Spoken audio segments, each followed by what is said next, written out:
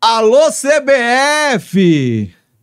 É, tem que acabar com essa arbitragem, viu? Acaba tudo, zera tudo, manda todo mundo embora, tá? Comissão de arbitragem, arbitragem que agora é CBF, quem é... Manda todo mundo embora, tá? Manda todo mundo.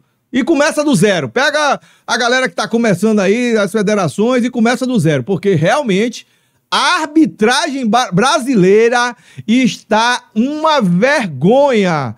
Uma vergonha. Eu quero saber só se esses erros cometidos no jogo de ontem contra o Vitória e no jogo de hoje contra o esporte, é, do jogo do, da Ponte Preta contra o esporte, né? Na verdade, o jogo de ontem, o, os erros favoreceram ao Criciúma, né? E no jogo de hoje, os erros favoreceram a equipe do esporte.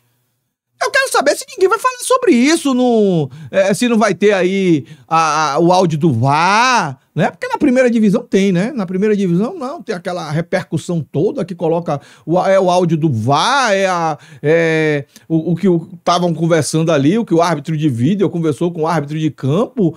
E ontem, né, no jogo do Vitória, teve aquele escândalo, aquele, aquele lance, ah, interpretativo, interpretativo, uma zorra a bola tocou na mão. O, o, o gol do Criciúma era para ser invalidado. E hoje a gente se depara com esse pênalti escandaloso. Foi um escândalo esse pênalti a favor do esporte hoje. Um escândalo. Parecia até que o, o, o esporte não, não podia perder esse jogo, né? O que estava aparecendo era isso. Deu é, 13 minutos de acréscimo no primeiro tempo. 13 minutos de acréscimos no primeiro tempo e 7 no segundo. 20 minutos de acréscimo no jogo todo. Será que teve esse tempo todo para dar de acréscimo? Ah, a parada do VAR. Será que teve? A arbitragem do Brasil está uma vergonha. É uma vergonha essa arbitragem brasileira, tá? Vamos, vamos, ver, vamos ver esse lance aqui. O lance do, do esporte né? O pênalti. E, olha aí, tive dois erros nesse pênalti. O pênalti que não aconteceu, o cara simulou na cara dura. Na cara dura, o jogador do esporte simulou o, o pênalti e o árbitro deu. Vamos, vamos, vamos, vamos ver aqui, ó. Pênalti pro esporte. Ó, olha aí. E o Arthur foi. Ó, puxou. Ó, se jogou. Vamos, vamos, vamos pegar aqui de novo, ó. Ó. Ó, vou pegar aqui, pegar mais pra cá, ó. Ó, aqui, nesse lance. Já aqui, ó. Pegar aqui mais um pouquinho. Ó.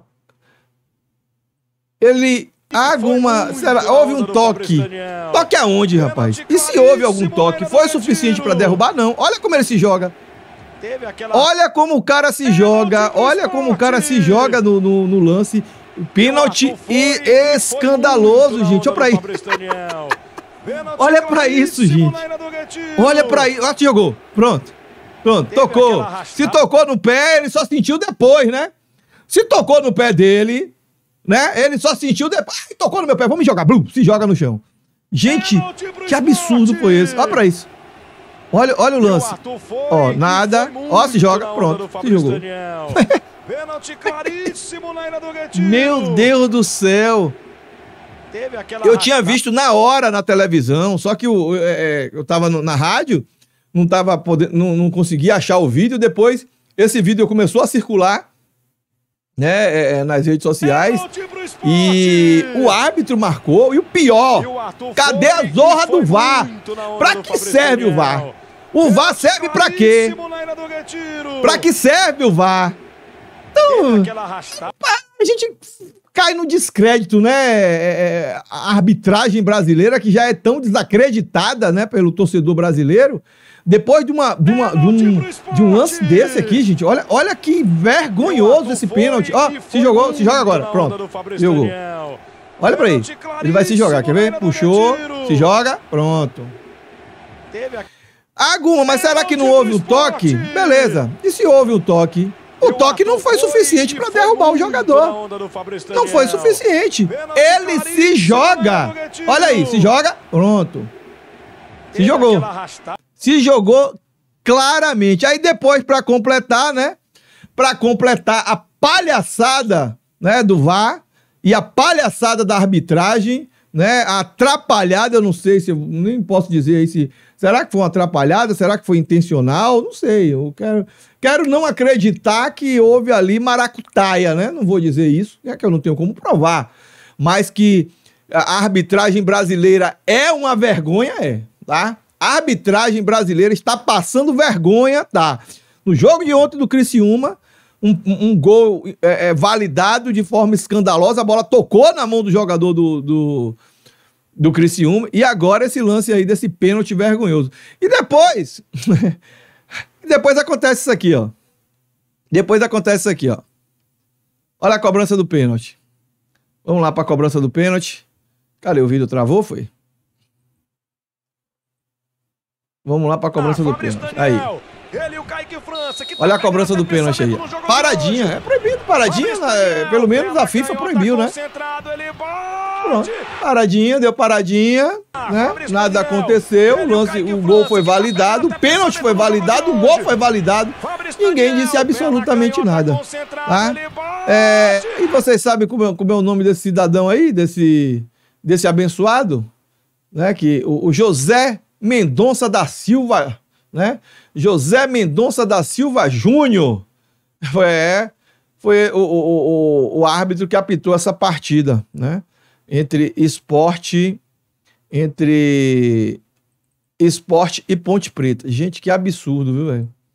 Que absurdo o que aconteceu nesse jogo contra a Ponte Preta. Parecia que o esporte não poderia perder o jogo, né? É, mesmo assim, acabou empatando. O cara deu 20 minutos de acréscimos nos dois tempos, né? 13 no primeiro e 7 no segundo. É, estranho, né? Aguma teve parada para o VAR analisou, mas será que teve 20 minutos de acréscimo nos dois tempos? Será que parou esse tempo todo? Será que parou esse tempo todo para ele dar 20 minutos de acréscimo? Eu não vi, mas beleza. mas não adiantou, né? não adiantou. O, o Fumo entrou para cima do esporte, empatou, né? É, tava tomando 3 a 0 Teve esse pênalti escandaloso, o esporte conseguiu empatar o jogo. Depois teve o pênalti com paradinha, que ninguém disse nada, a arbitragem não disse nada. E o esporte acabou conseguindo conquistar o empate, né? É, ia sair derrotado, ia cair de posição, o esporte se manteve ali na segunda posição com 55 pontos. Então, alô CBF, acaba com a arbitragem, acaba, ó acaba, começa do zero, manda todo mundo embora, começa do zero, traz aí essa galera mais jovem aí que está começando. Aqui mesmo em Salvador tem uma galera boa, né, que para começar a arbitragem, padronizar, né? Ah, que um, um, um, interpreta de um jeito, outro interpreta de, de outro, e o mesmo lance é marcado de um jeito por um árbitro, por outro árbitro é marcado de outro jeito. Vamos padronizar essa zorra, né? Padronizar essa zorra para não ficar dando margem né, para pensamentos dos mais diversos aí, porque a arbitragem brasileira está uma vergonha. Valeu? Eu não, eu não vou falar mais nada, não. Vou ficar por aqui, porque senão vou falar besteira. Um grande abraço a todos, um beijo no coração de cada um. Deixa o like no vídeo, é importante para que o YouTube entregue a outros torcedores que do Esporte Clube Vitória. É claro que o vídeo aqui está é, é, é tá falando sobre esse pênalti escandaloso aí marcado a favor do esporte, porque o torcedor do Vitória está na seca aí, né? Tá secando aí o, o, o, o esporte, né? Que vem na cola do Vitória ali é, na luta pelo título do Campeonato Brasileiro da Série B. Então, o torcedor do Vitória na secando aí o esporte e hoje o secador funcionou, né? Porque o esporte per, é, é, perdeu pontos, perdeu dois pontos e o Vitória, independente do que aconteça na próxima rodada, tem mais uma rodada garantida na liderança. Valeu, grande abraço a todos, beijo no coração, até o próximo vídeo.